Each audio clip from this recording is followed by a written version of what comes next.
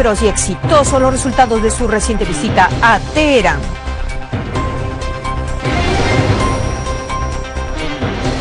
Al-Jafari asegura que Damasco cumplió con sus obligaciones y sigue prestando asistencia humanitaria a la población. Fuerzas Armadas repelen ataques de grupos terroristas y desactivan artefactos explosivos.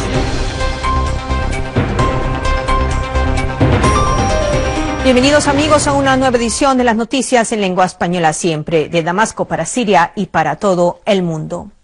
El Consejo de Ministros celebró este jueves su sesión semanal presidida por el primer ministro Wali al-Halki, quien encabezó una delegación ministerial siria al país amigo de Irán. Durante la sesión, el primer ministro calificó esta visita de positiva y fructífera a fin de garantizar las necesidades básicas del pueblo sirio en varios sectores, tales como salud, energía eléctrica y petróleo. Asimismo, destacó que dicha visita ha contribuido en el establecimiento de nuevas inversiones conjuntas que conllevarán al refortalecimiento de la resistencia del pueblo sirio frente al injusto bloqueo económico. Por su parte, los ministros abordaron las vías de mejorar el rendimiento de todos los sectores, además, las medidas necesarias para mantener la estabilidad del tipo de cambio de la libra siria y la economía nacional. En este contexto, Al-Halki expresó el interés del gobierno en garantizar el abastecimiento de productos básicos en el mercado e impedir que los especuladores aprovechen de la crisis.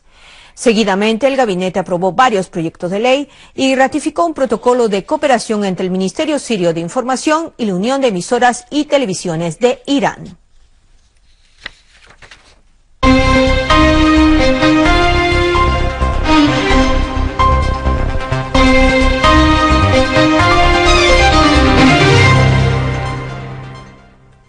Los miembros del Consejo de Seguridad de la ONU adoptaron la resolución número 2191, a través del cual reafirman el contenido de los párrafos 2 y 3 de la resolución número 2165, los cuales se centran principalmente en el tema de la distribución de ayuda humanitaria a los ciudadanos sirios, ya sea a través del plan de respuesta del gobierno sirio o a través de las denominadas operaciones transfronterizas. El representante permanente de Siria ante Naciones Unidas, Bashar al-Jafari, declaró que el gobierno sirio representa un verdadero socio, el cual cumplió y sigue cumpliendo plena y continuamente sus obligaciones en cuanto a los esfuerzos encaminados a proporcionar asistencia humanitaria en todas las regiones de Siria. Al-Jafari puntualizó que los patrocinadores de la resolución y los embajadores de Jordania, Luxemburgo y Australia ante el Consejo de Seguridad no hacen un seguimiento sobre los hechos en Siria, ni tampoco leen el contenido de los informes de los altos funcionarios de Naciones Unidas en Damasco, quienes presentaron, presentaron varios informes completamente diferentes a lo alegado por los mencionados embajadores. Asimismo, afirmó que el gobierno sirio no es quien obstaculiza el ingreso y distribución de ayuda a través de las fronteras, sino los terroristas. El delegado sirio denunció que el gobierno turco impide el uso del cruce de Nasibin al personal de la Oficina de Naciones Unidas para la Coordinación de Asuntos Humanitarios, OCHA, para el ingreso de ayuda humanitaria, agregando en este sentido que igualmente la organización terrorista del Estado Islámico impide la entrada de ayuda humanitaria a través de los pasos fronterizos con Irak. Por otro lado, el diplomático sirio aseguró que existe un acuerdo entre el gobierno sirio, los miembros del Consejo de Seguridad y el secretario general de Naciones Unidas, subrayando que este acuerdo es una parte integral de la resolución número 2165, el cual establece que la OCHA debe informar al gobierno sirio con 48 horas de antelación sobre el envío de cualquier asistencia transfronteriza, así como su contenido y destino final.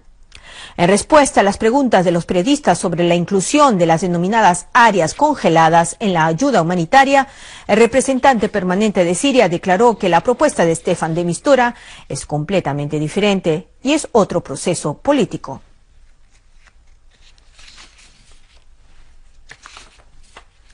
El viceministro de Exteriores y Emigrantes, Faisal Migdad, ofreció las condolencias de nuestro país en la sede de la Embajada pakistaní en Damasco por las víctimas del atentado terrorista lanzado contra una escuela en la ciudad pakistaní de Peshawar. Al-Migdad declaró a la prensa que los actos terroristas no excluyen a ningún pueblo, siendo Siria y Pakistán víctimas de dichos actos criminales. Asimismo, reafirmó la necesidad de unir esfuerzos para combatir a dicho flagelo.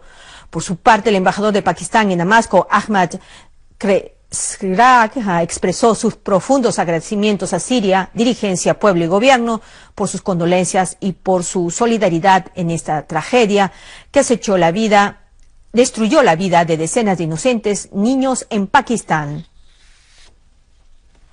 Un grupo armado lanzó varios proyectiles mortero contra varios barrios en la ciudad de Idlib, causando la muerte de una menor y daños materiales en viviendas.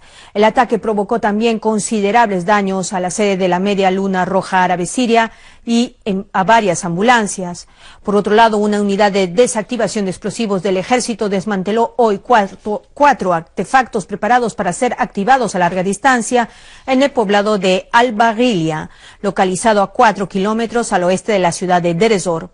La fuente explicó que la referida unidad del ejército desactivó dos artefactos explosivos que se encontraban dentro de una maleta colocada en el cruce de la carretera que conduce a la Universidad de Al Jazeera. Es de señalar que cada artefacto pesaba 20 kilogramos.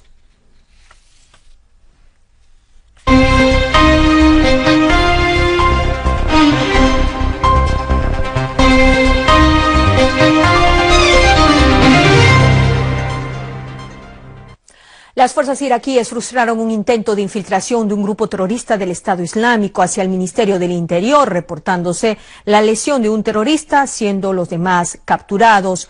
Por otro lado, tropas iraquíes eliminaron en las últimas 24 horas varios terroristas, así como se registró el arresto de varios y la desactivación de cinco artefactos explosivos en diferentes partes de la capital Bagdad. Por su parte, medios de información iraquíes anunciaron que decenas de iraquíes cayeron muertos y heridos tras atentado terrorista suicida al sur de Tikrik, al norte de Irak.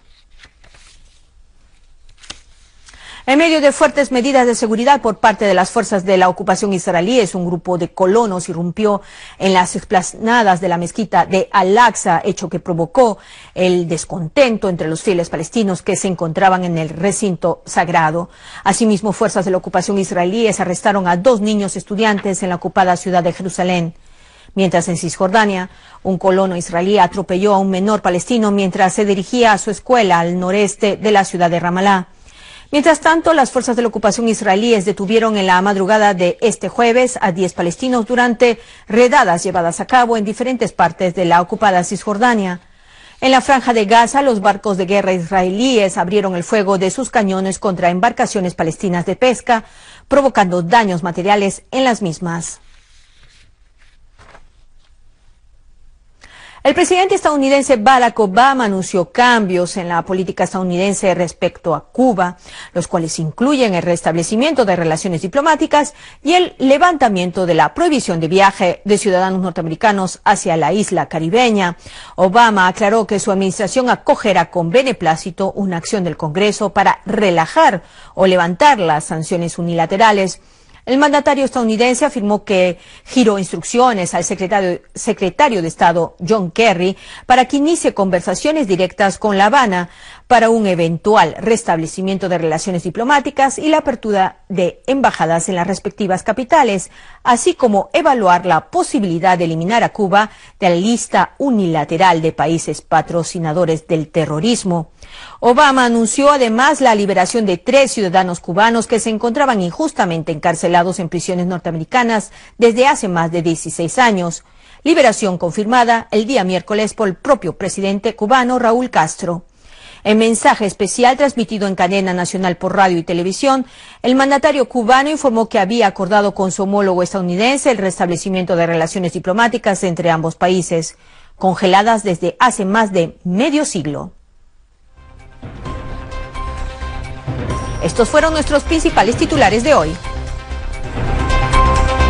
El primer ministro califica de fructíferos y exitosos los resultados de su reciente visita a Teherán. Al-Jafari asegura que Damasco cumplió sus obligaciones y sigue prestando asistencia humanitaria a la población.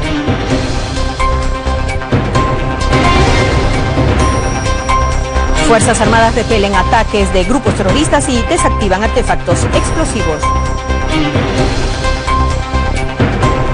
Ya saben que toda la actualidad regional y nacional se encuentra únicamente aquí en el canal Sirio Satelital. Como siempre, nos vemos en la edición de mañana. Hasta entonces.